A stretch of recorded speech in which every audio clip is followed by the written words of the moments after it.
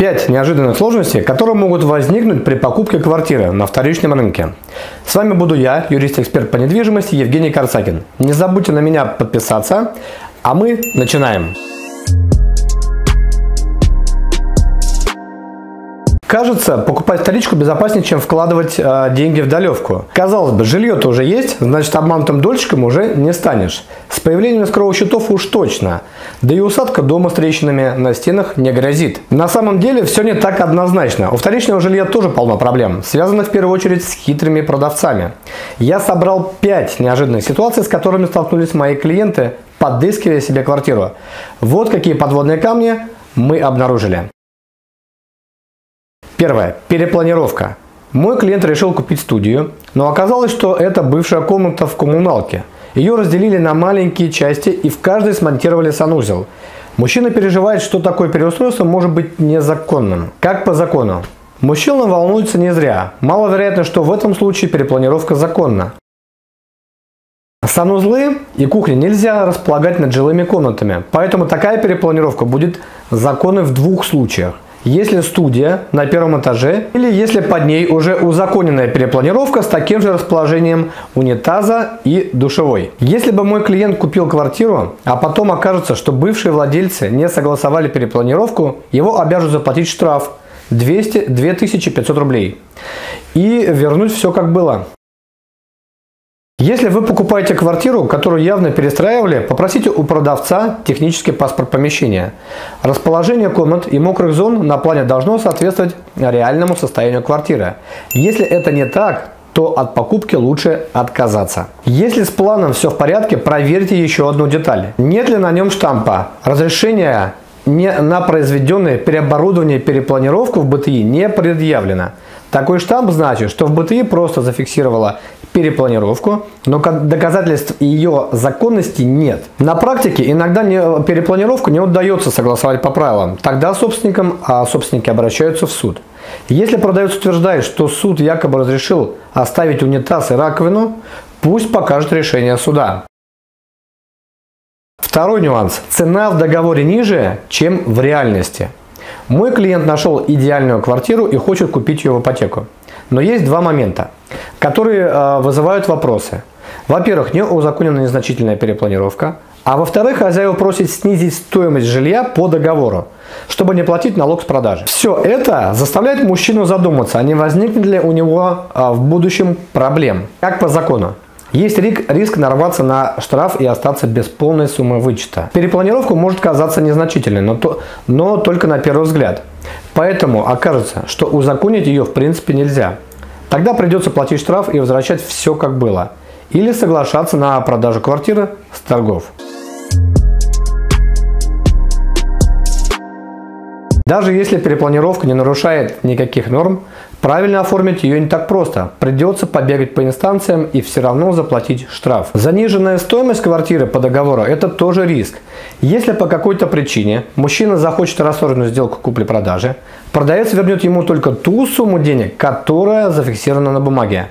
Меньше, чем мужчина реально заплатил. Еще есть проблема с налоговыми вычетами. Если по договору квартира стоит меньше, чем э, а, 2 миллиона рублей, а в реальности больше, налоговая не даст максимальный вычет. К тому же, если мужчина продаст жилье раньше минимального срока владения, ему потребуется доказать налоговые свои расходы, чтобы уменьшить э, НДФЛ. Минимальный срок владения может составлять 3 года или 5 лет. А раз по бумагам расход меньше, значит доход выше, и денег в бюджет придется отдать больше. Но и это не все. О махинациях со стоимостью помещения может узнать банк и отказать моему клиенту в ипотеке. В идеале отказаться от покупки, но в реальности такая квартира может оказаться одним из немногих подходящих вариантов. В таком случае сделайте вот что. Первое. Проведите экспертизу перепланировки. Если нет препятствий для того, чтобы ее узаконить в будущем, можно за это взяться и от жилья не отказываться. Второе. Отдайте документы на проверку банку. Соглашайтесь на сделку только если банк ее одобрит. Третье. Оформите титульное страхование. Четвертое. Запланируйте э, не избавляться от недвижимости раньше минимального срока для продажи без налога.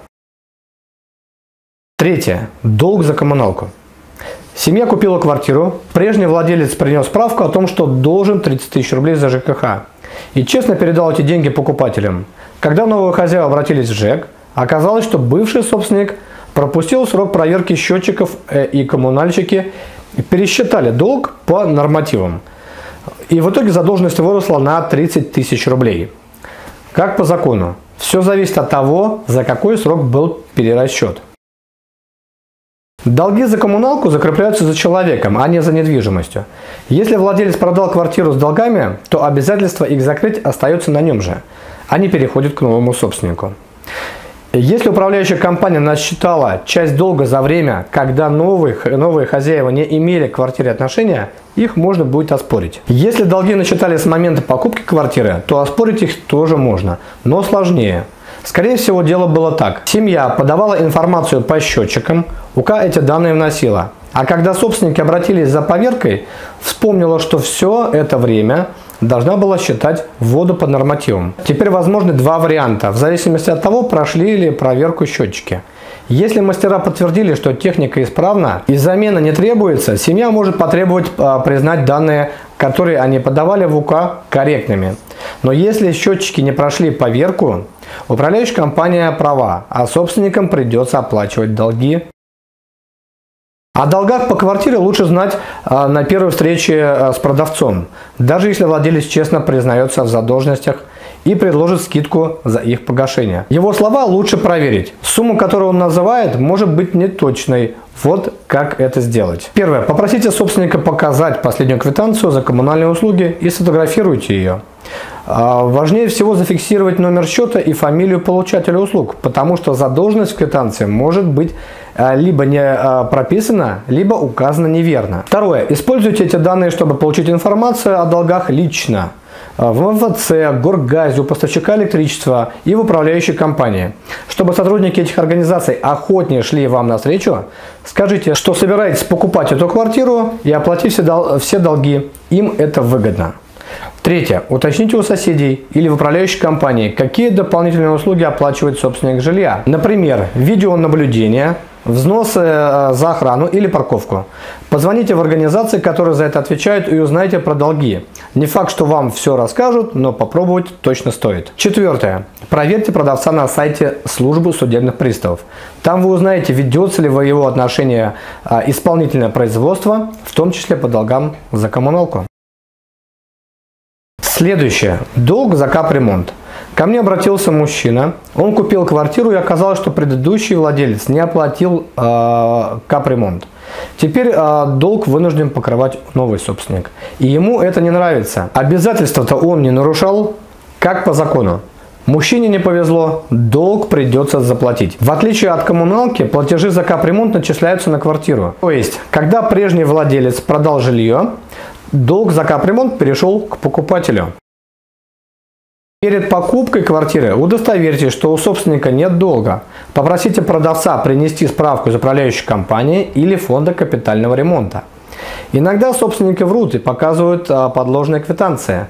Если обман скрывается, после покупки можно потребовать деньги с прежнего владельца через суд, но в остальных случаях придется рассчитываться самому. Следующее. Чужие вещи. Семья несколько лет снимала квартиру, а потом арендодатель предложил супругам выкупить ее по кадастровой стоимости. Те согласились, оформили ипотеку, передали деньги и стали жить в уже своей квартире.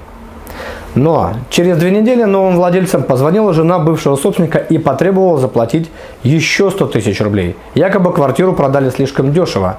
А если супруги не согласятся, она подаст на них в суд с требованием вернуть всю имеющуюся в доме мебель и сантехнику. Что будет, если дойдет до суда? Неизвестно. Аргументы есть у каждой сторон.